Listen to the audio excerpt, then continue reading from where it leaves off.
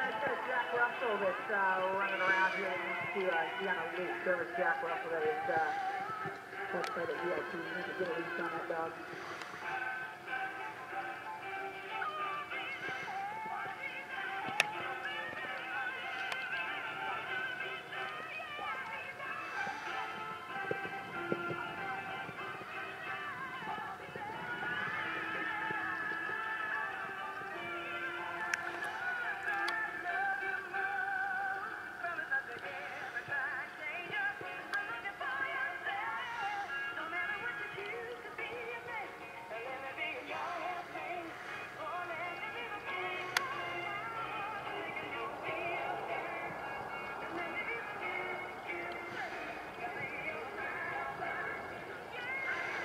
Well, just like that, our first entry in the first of the 16 Grand Prix goes clear here. Billy Bianca and Richard Spooner doing, well, what Richard Spooner does, laying down a very nice ride and clear 79.974, our first rider reference time out of an 88.